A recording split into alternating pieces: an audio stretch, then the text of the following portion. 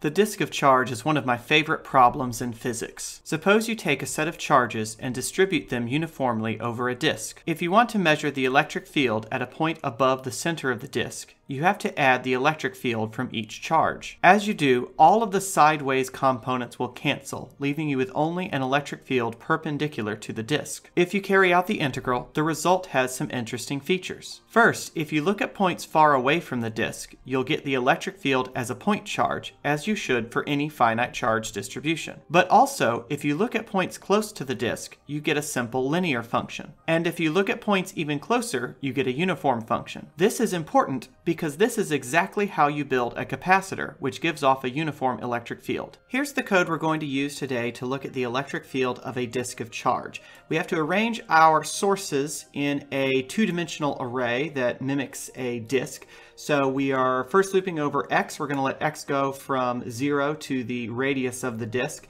And then y is going to be capped off as this function of x. This is the function that gives you a circle, or at least the function that gives you a quarter circle. Um, in order to get the full circle, uh, for each time we go around this loop, we're appending four sources, one at uh, x and y, one at negative x and y, one at x and negative y, and one at negative x and negative y. So that gets us all four quadrants. Um, obviously, the more points we use, the more like a disk this will look. So we're going to start out with uh, 50 points. That's not going to look terribly disk-like. We will increase that uh, in a few minutes to make it look more disk-like. Um, but the rest of the code looks exactly like what we've had before. Um, we are going to uh, have a set of observation points that lie along the z-axis this time.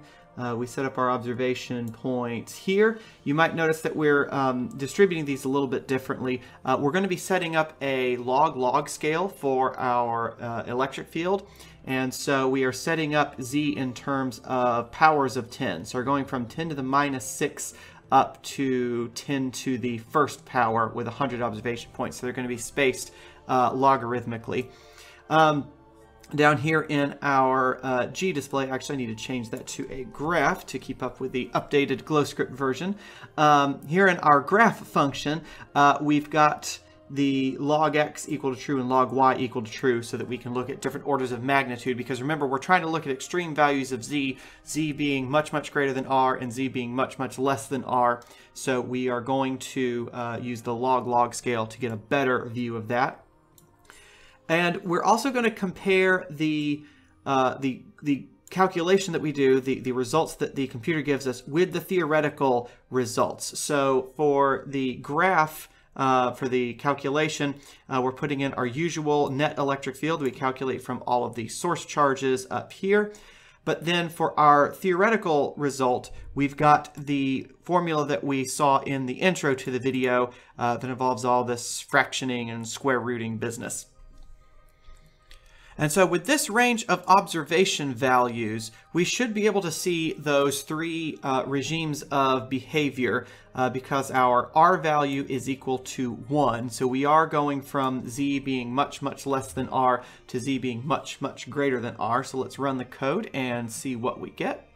So here's our disk of charge. As promised, it's not entirely disk-like. It looks a little bit more like a stop sign. As we add more points, these edges become more rounded, but basically 50 points is not a good number of points to make a uh, to make a disk. But let's take a look at the graph that we get.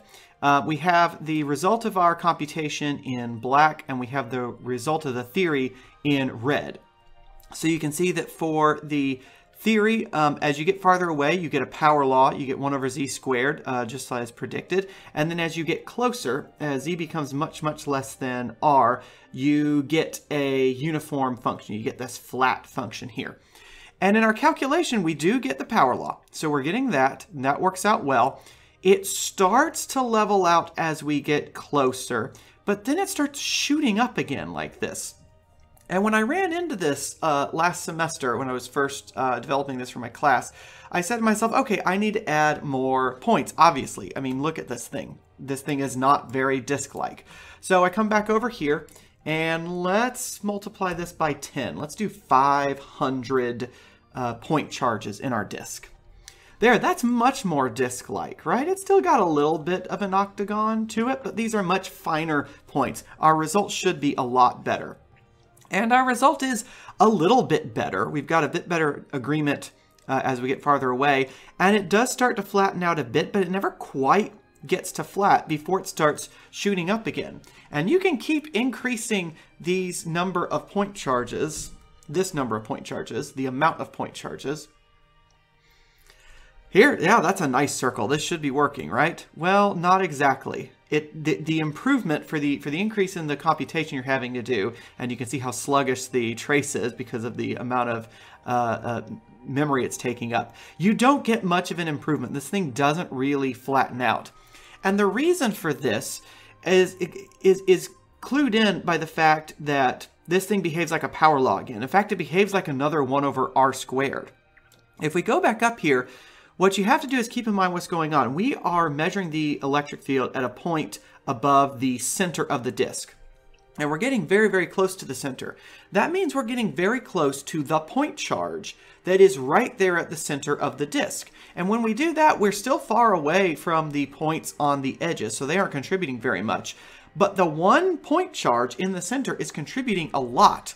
And so what you're seeing here is the uncompensated and uncontested electric field of that single point charge in the center. We are getting too close compared to the scale of the of the of the mesh in the disk itself. And in fact, one of the reasons, uh, one of the ways I figured this out was I printed the ratio of the two spacings, right? So we're taking a look here at, uh, let me find this, where's the thing we print? Now we're taking a look here at the spacing in X over the spacing in Z. And you can see it's not a very large fraction. It's only 2%. So our mesh is only 2% of our step size for the field point. And that is not very big. And so there's no amount of extra point charges that we can add that's going to fix this. What we have to do is change the way we distribute these charges. Because basically what we're getting from this is that those point charges at the center are contributing too much, and the point charges at the end are contributing too little. So this is where I pulled in a trick from my PhD dissertation. So I worked with the numerical renormalization group which is a fancy way of saying instead of using uniform distribution, you should use a logarithmic distribution. So the numerical renormalization group, or NRG, is used to space out uh, electron energy levels in a conduction band.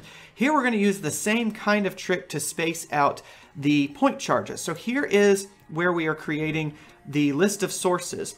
Only this time, instead of uniformly spacing them out, we're spacing them out in rings. And what we're going to do is make is change the radius of these rings logarithmically or by a by a power law scale.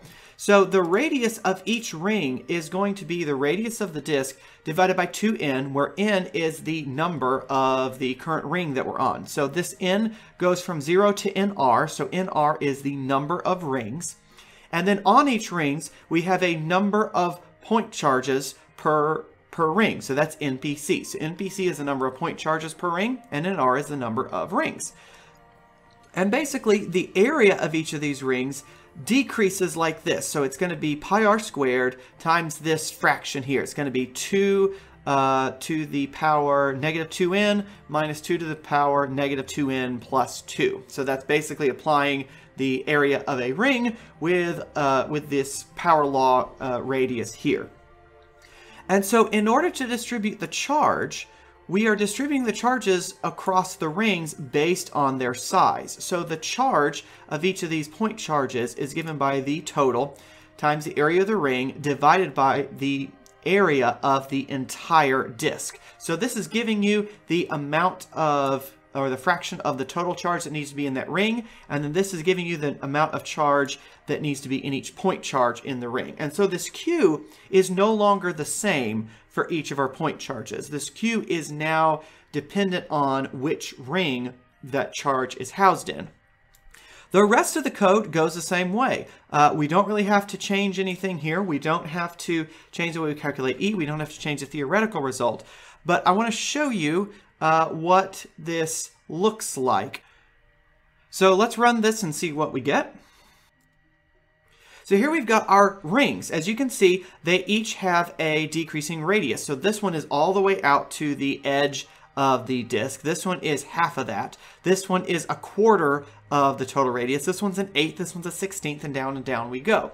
You can also see that the size of the point charges decreases. That's to help you visualize the fact that we are giving them each less charge as we go deeper and deeper into the ring so that we end up with still a uniform charge distribution over the rings, just not over the slices that we're making in the uh, in the point charges themselves.